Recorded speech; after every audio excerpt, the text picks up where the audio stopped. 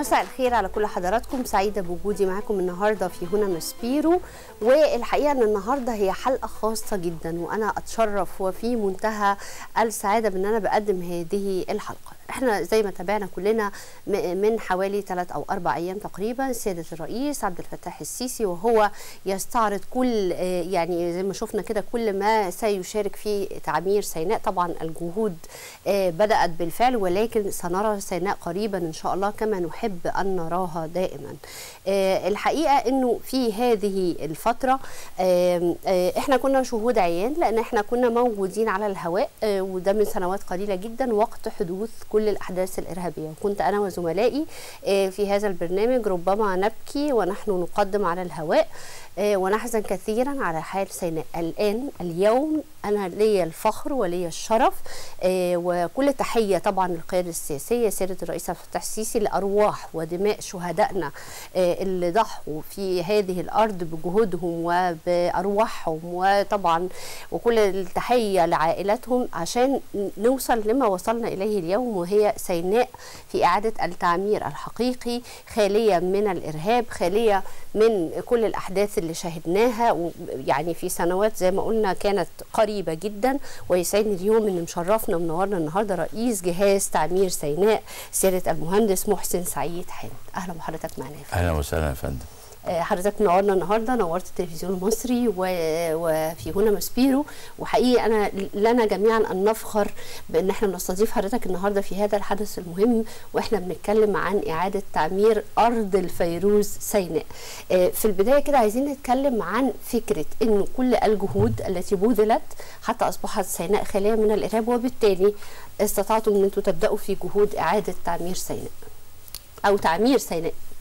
هو أنا بس يعني أحب أنوه حضرتك إن إحنا جهاز تعمير سينا أحد أجهزة الجهاز المركزي للتعمير ده أحد الجهاز المركزي للتعمير أحد اذرع وزارة الإسكان.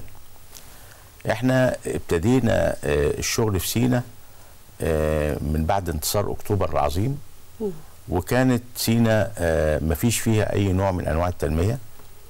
واتعملت المدن اللي حضرتك شايفاها في جنوب سيناء أو شمال سيناء آه واتعملت المرافق اللي تساعد على بداية الإعمار.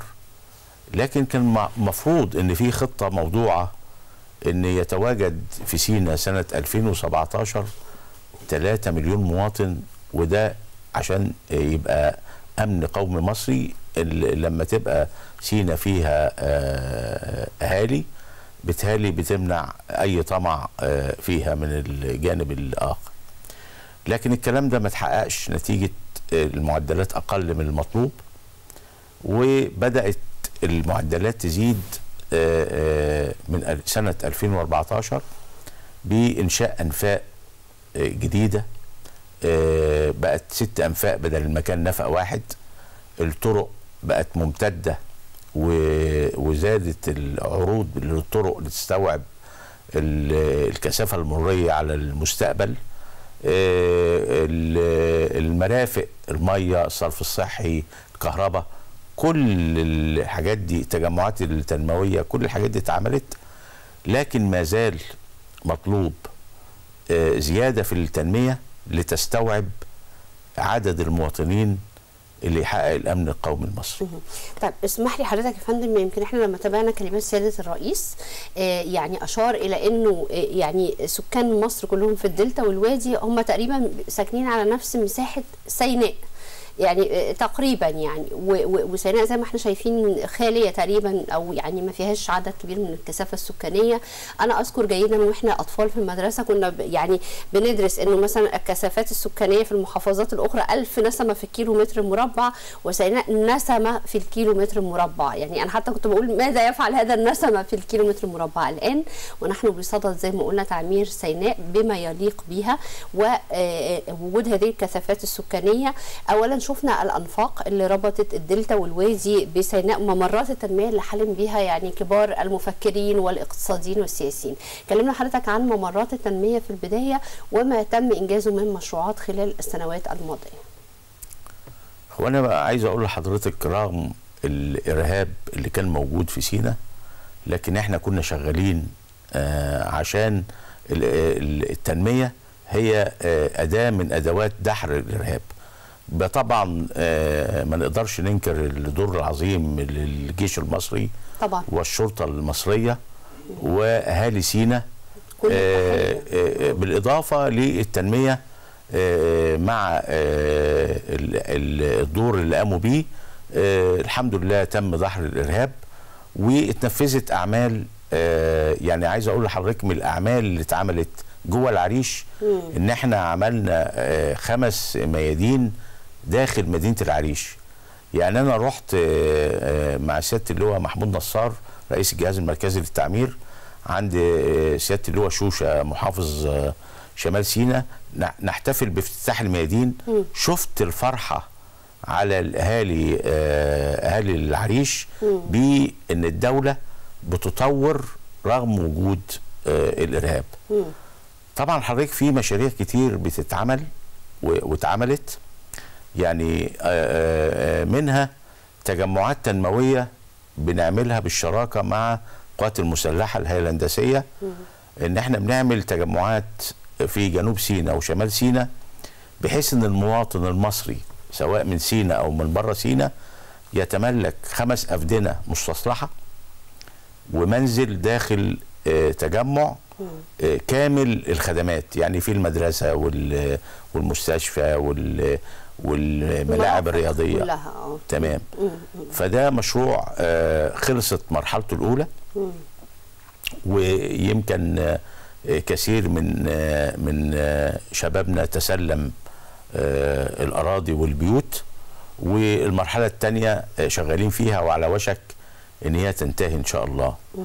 آه، حضرتك إحنا شغالين في آه، التجمعات التنموية اللي في الأماكن الوعرة. بنوصل لها الكهرباء المستمرة بدل ما يبقى في generator بي بيشتغل كام ساعة ويقعدوا في في الضلمة بقية اليوم لا إحنا الحمد لله وصلنا لكثير جدا من التجمعات الكهرباء والطرق. وبنعمل لهم آه، التجمعات اللي هي الأكثر احتياجا بنعمل لهم مزارع تنموية آه، آه، المزارع دي زرعنا فيها آه، نخيل برحي. ده النخيل البرحي ده من أجود الأنواع والنخيل المجدول والتين والزيتون وال- والفواكه والصوب الزراعية والأرض المكشوفة. ويمكن عملنا أحواض آه، لتخزين المية من الآبار اللي إحنا بنستخدمها في الري. آه، ربنا فيها أسماك بلطي. فكل ده لرفع آه، القيمة ال- ال- الاقتصادية لأهالينا في التجمعات دي وتعليمهم مهن جديدة ما كانوش آه، على آه، دراية بيها. آه، بالإضافة بقى للكثير من المشروعات السكنية وال والإدارية كل أنواع المشروعات بتتم وده شغل وزارة الإسكان بس. لكن عايز أقول لحضرتك جميع الوزارات. بتشارك في التنمية. يعني وزارة ال- ال- التربية والتعليم آه، آه، عن طريق الأبنية التعليمية عملوا مدارس برضو في التجمعات الوعرة. آه، كمية المدارس اللي اتعملت في سينا كمية كبيرة جدا. وزارة الصحة عملت المستشفيات آه، في محطات رفع المية أيضا محطة محطات محسمة. دي حضرتك للتنمية الزراعية. محطة بحر البقر ده صرف زراعي بيتم تنقيته عشان يزرع حوالي 400 ألف فدان في آه، شمال سيناء. آه، في عندنا آه، يعني إن شاء الله في الأيام الجاية في محاجر كتير قوي في سيناء غنية بالمواد ال- ال- العظيمة اللي نقدر نستغلها في الصناعات جوه سيناء. آه، فإن شاء الله المرحلة الجاية زي ما فخامة الرئيس أشار إن إحنا لازم التنمية تزيد بعد دحر الإرهاب عشان إن شاء الله نحقق الهدف من التنمية بإذن الله. طيب آه، هو الحقيقة إن أنا في نقاط كثيرة جدا عايزين نتكلم فيها وزي ما حضرتك أشرت كده إنه كل الوزارات تقريبا بتعمل لإعادة أو لتنمية سيناء كما كنا نأمل دائما. يعني إحنا الحقيقة على مدار سن- سنوات طويلة كنا بنسمع إنه يجب آه، تعمير سيناء أو تنمية سيناء ولكن يعني كانت الظروف غير متاحة في ذلك الوقت. فما نراه الان يحدث على أرض الواقع وهذا التعمير آه، آه، من ضمن ال- المشاريع المهمة اللي حضرتك آه، يمكن اتكلمنا فيها قبل ما نبدأ هذه الحلقة هو مشروع التجلي الأعظم. يعني أرض سيناء يمكن هي ال- الأرض الوحيدة التي تجلى فيها الله بعزه جلاله سبحانه وتعالى لسيدنا موسى عليه السلام. تجلى الله سبحانه وتعالى فيها. ومشروع التجلي الأعظم في سانت كاترين. ريت حضرتك تكلمنا عنه. هو حضرتك طبعا آه، سانت كاترين زي ما حضرتك أشرتي إن المكان الوحيد اللي في العالم اللي ربنا سبحانه وتعالى تجلى فيه لسيدنا موسى آه، المكان ده آه، ما خدش حقه في التنمية لما له من أهمية عالمية. لكن فخامة الرئيس أصدر توجيهاته لدولة رئيس الوزراء ومعالي وزير الإسكان إن هم يخططوا وينشئوا مشروع التجلي الأعظم لجذب كل العالم لزيارة سانت كاترين لما لها من أهمية دينية عند جميع البشر ده نوع عند جميع الأديان. مختلف تماما من السياحة بقى غير السياحة الشاطئية المشهور بيها طبعا. هو حضرتك السياحة اللي بتيجي سانت كاترين آه، دي سياحة روحانية. يعني طبعاً. عشان هي آه، بتخص جميع الأديان صحيح. وفي نفس الوقت آه، المكان نفسه آه، لما له من روحانيات فهو مريح جدا. فلذلك كل الزيارات اللي بتيجي كاترين بتيجي للسياحة الروحانية وزيارة ال- دير سانت كاترين اللي آه، أنشئ من 1600 أو أكثر من 1600 عام يمكن قبل قبل الإسلام. وحضرتك الوديان اللي حوالين سانت كاترين وديان رائعة ففي زيارة السفاري آه، كمان موجودة. كل ده تم التخطيط له واتعملت المنشآت وجاري تنفيذها وخلصنا نسبة كبيرة منها. آه، المنظر بقى في كاترين يعني مش عايز أقول لحضرتك منظر رائع ماشي مع آه، عراقة المكان وطبيعة المكان البيئية.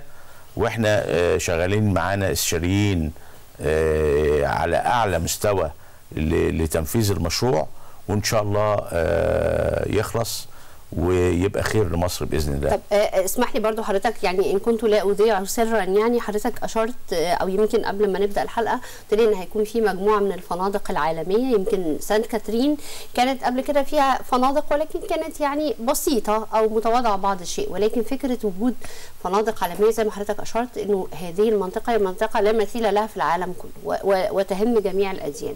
نقدر نقول إن سانت كاترين إن شاء الله بعد كده تبقى قبلة كبيرة للسياحة بعيدا عن كل الأماكن الأخرى المميزة في مصر. يعني هي تكون قائمة بحد ذاتها كده.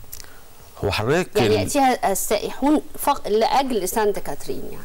تمام. ما هو حضرتك إحنا يعني. إحنا آه، آه، بالتوازي الهيئة الهندسية للقوات المسلحة آه، بالاشتراك مع الشركة المصرية للمطارات بيطوروا مطار سانت كاترين وبيعملوا يعني توسعة وصالة جديدة بحيث إن هو يستقبل الطيارات الشارتر من العالم كله.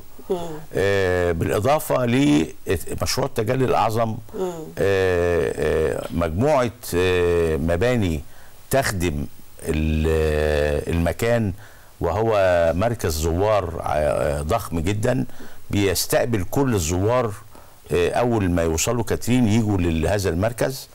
آه، قصاده على طول ساحة كبيرة جدا ساحة السلام آه، ليه بتنقل رسالة إن السلام موجود عندنا في هذه الأرض. آه، في حضرتك فنادق آه، بتبدأ من خمس نجوم وأربع نجوم.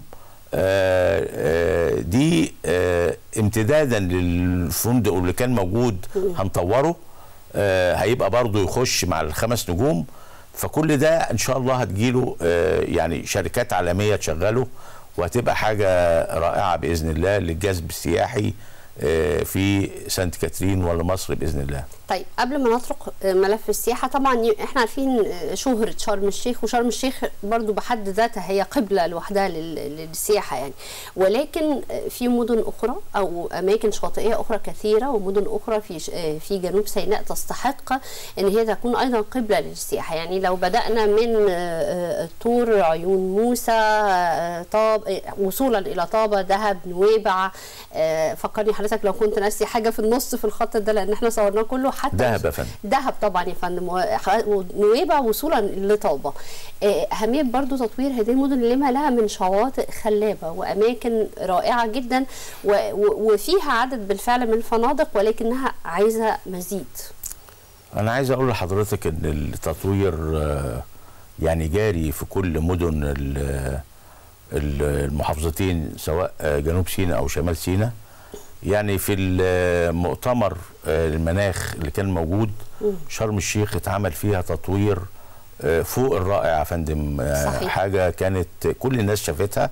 ده اشاد بيها العالم أجمع مش إحنا يعني. تمام. و... وبالتالي في نفس الوقت تم تطوير وما زالنا بنطور في مدينة دهب. معمول فيها شغل برضو رائع. ونويبع يعني فيها جاري التطوير آه، في مدينة نويبع وانت عارف حضرتك نويبع فيها مينا طبعا. آه، بي بي- بيربطنا بالأردن. آه، طابة طبعا منفذ آه، لمصر وموجود فيه مجموعة فنادق آه، مقامة. آه، كل ده وإن شاء الله لما المطار يشتغل آه، مطار طابة هيبقى منطقة آه، يعني هيبقى سبب للجذب السياحي الكبير لمنطقة طابة ونويبع ودهب بإذن الله إن شاء الله ودهب إحنا عارفين هي قبلة من يحب بقى عالم ال- الغوص يعني دي قبلة لوحدها يعني كل مدينة آه. لها طابع خاص آه. آه، بيخلي السائح يلاقي آه، تنوع في آه، آه، شرم غير دهب غير نويبع غير طابة غير صحيح. كاترين كل لذلك في سياح كتير بيجوا بياخدوا جولة في مجموعة ال- المدن دي. أنا هاخد حضرتك بعد الفاصل مباشرة وهنرجع بقى للشمال فوق والعريش و, و... و... آه، أيوب وغيره بس بعد هذا الفاصل مباشرة. يعني كل التحية طبعا إحنا عارفين إن شاء الله 9 مارس القادم هو الاحتفال بيوم الشهيد وهذه يعني آه، حلقة مهمة جدا إن إحنا نذكر فيها الشهداء ونوجه التحية لأرواحهم و- والتحية والتقدير لأهاليهم طبعا. وإحنا زي ما إحنا شايفين هذه الدماء التي بذلت في هذه يعني البقعة المقدسة جدا من أرض مصر واللي زي ما قلنا تجلى فيها الله سبحانه وتعالى لسيدنا موسى. وبرجع مع حضرتك مرة تانية يا فندم. وعايزين نطلع فوق بقى للشمال شمال العريش العرايش يعني شمال سيناء العرايشيه الجمال نتكلم عن العريش ورفح والشيخ زويد وهم الحقيقة آه، تحملوا الكثير جدا في في وقت الإرهاب ودفعوا من الدم ودفعوا من يعني من من حياة كانت صعبة جدا ويستحقوا إن هم يعودوا بقى آه، يعيشوا الحياة الآمنة كما أشار إليها سيادة الرئيس. هو حضرتك طبعا أهالينا في العريش ورفح والشيخ زويد تحملوا الكثير ولكن الحمد لله تم دحر الإرهاب وإحنا عندنا خطط آه، قوية وسريعة في الشيخ زويد ورفح خصوصا.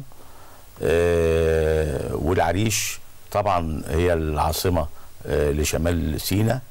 وطبعا حضرتك عارفة شاطئ العريش الجميل طبعا. ومينة العريش وبحيرة البردويل. يعني ويعني شمال سيناء محافظة جميلة جدا.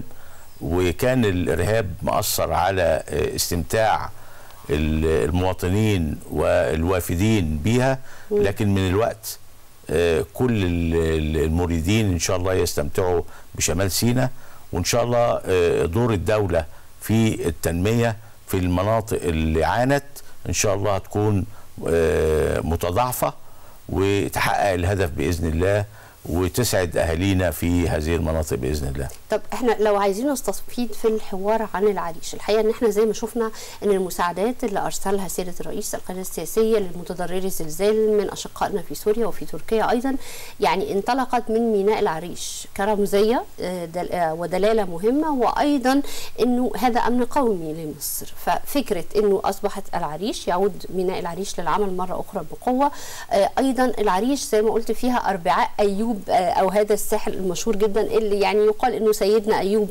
عليه السلام نزل في هذا المكان وشفاه الله سبحانه وتعالى ويأتي آه، أنا عارفة كويس قوي السائحين من كل مكان من داخل مصر وخارج مصر في هذا اليوم المحدد.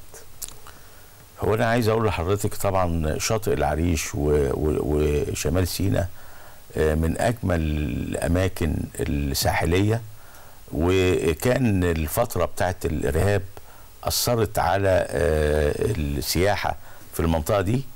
آه، يعني إن شاء الله في الفترة القادمة هتكون آه، في تنمية في المناطق دي وإن شاء الله تعود أكثر مما كانت بإذن الله.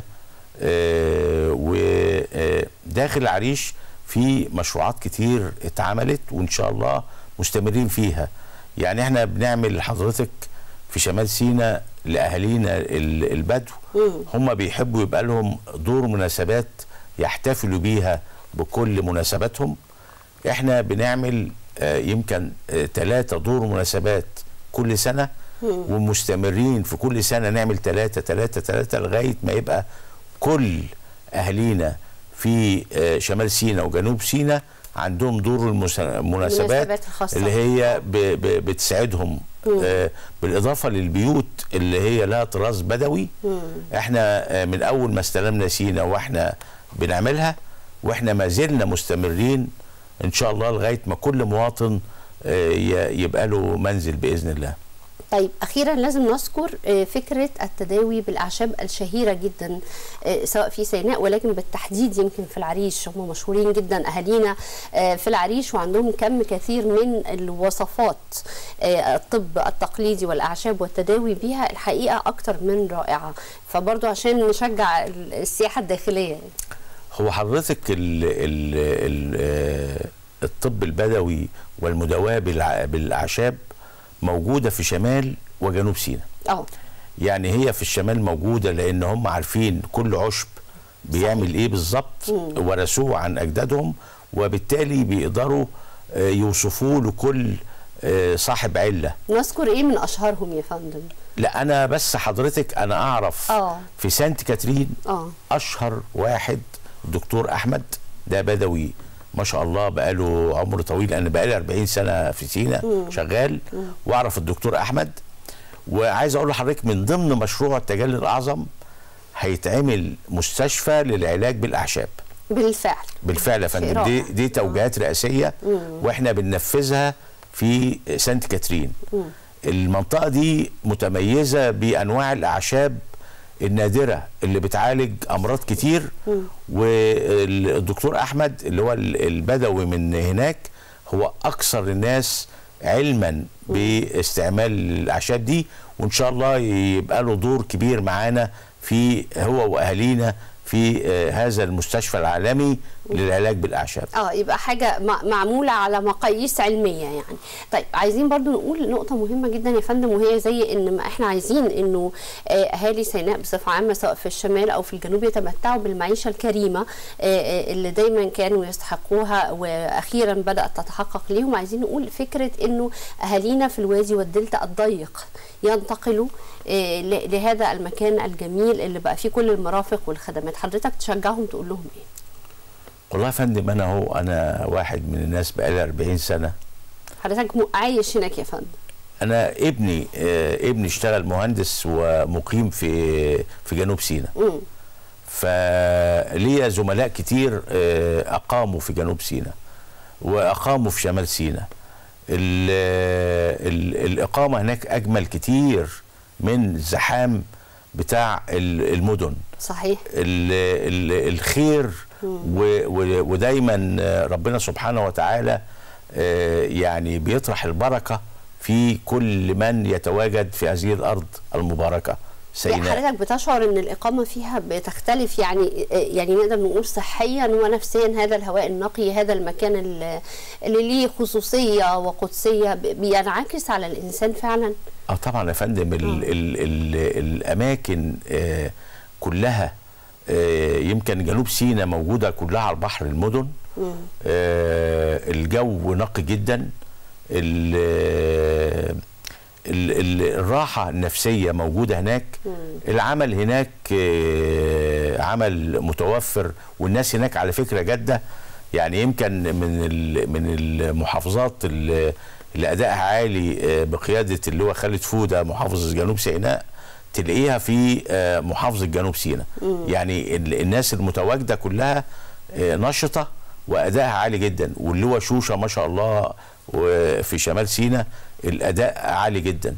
فطبعا أي مواطن هيروح آه، سيناء هيلاقي آه، آه، حياته هتبقى أفضل بكتير جدا بإذن الله. طيب عايزين نتحدث أيضا يا فندم عن شبكة الطرق الكبيرة التي أقيمت زي ما شفنا في هي يعني شبكة الطرق الحقيقة في مصر كلها ولكن أيضا في سيناء لأن إحنا عارفين طبعا سيناء كان في مشكلة في الطرق وكانت زي ما إحنا عارفين في أماكن وعره وطرق لم تكن ممهدة ولم تكن آمنة بالشكل الكافي. ما تم إنجازه من شبكة طرق في سيناء كلها؟ يعني أقول لحضرتك آه، طبعا آه، الطرق آه، موجودة في سيناء الوقت بعد فخامة الرئيس ما يعني خلى مصر كلها يعني مش مش سينا بس أي مواطن بيشعر بالسعادة وهو بينط... بي يعني بيرود الطرق ديت بيلاقيها مريحة يعني سهلة. كل الطرق يا فندم اللي, بتربط المدن في شمال سيناء أو جنوب سيناء آه، تم تنفيذ نسبة كبيرة منها وما زال آه، آه، بعد دحر الإرهاب إن شاء الله بقية الطرق هيتم تنفيذها بإذن الله. بإذن الله. عايزين برضو نعود مرة أخرى للحديث حول إنه خلق مجتمعات صناعية وزراعية.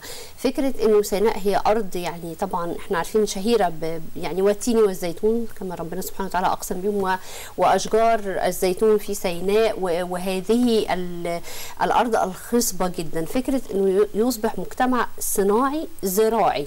إيه إيه حضرتك اشرح لنا أكتر وإزاي ده ممكن يساهم في خلق كثافة سكانية. وطبعا يساهم في التصدير أيضا. يعني أنا عايز أقول لحضرتك آه، آه، إن في آه، في أبو زنيمه كمية محاجر كبيرة جدا.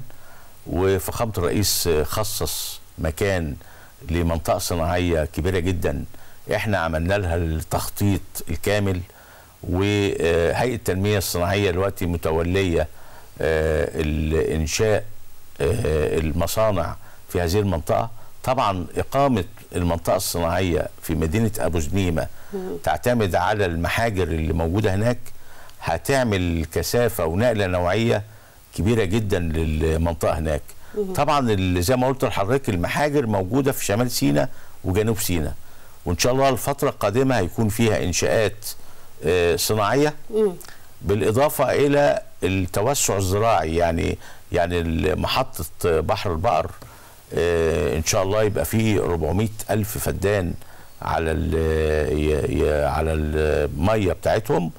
آه، المزارع اللي إحنا بنعملها والأهالي بيعملوها اسوه باللي إحنا عملناه ونجح. آه، أنا بقول لحضرتك إحنا زرعنا كميات كبيرة من أشجار الزيتون وأنشأنا آه، معصره لعصر ال- الزيتون لإنتاج الزيت.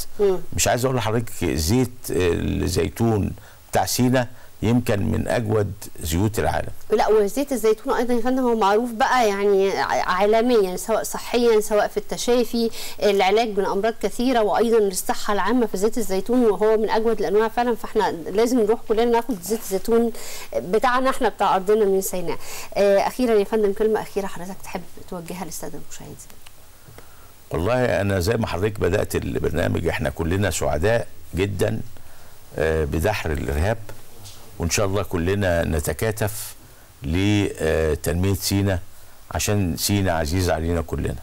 إن شاء الله. أنا بشكر حضرتك. شكرا جزيلا. نورتنا النهارده يا فندم. نورتونا مسبير وسعداء فعلا. إن إحنا النهارده بنتكلم عن تعمير سيناء بما تستحق وكانت تستحق دائما. بشكر حضرتك. شكرا جزيلا.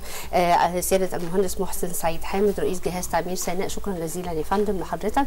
وبشكر كل حضراتكم. زي ما شفتوا النهارده هذه كانت حلقة يعني أنا شخصيا أعتز جدا إن أنا بقدمها وسعيدة إنه جاء هذا اليوم وجاء سريعا بعد سنوات قليلة جدا من آه ارهاب وزي ما شفنا كده كان يعني كانت أحداث مؤسفة جدا إلى هذا التعمير وهذا الأمان ما تستحق سيناء وأهل سيناء وأهالينا هناك. مرة أخرى بشكر حضراتكم شكرا جزيلا وصلنا لنهاية حلقتنا النهارده وغدا إن شاء الله يوم جديد من هنا. مسبير السلام عليكم.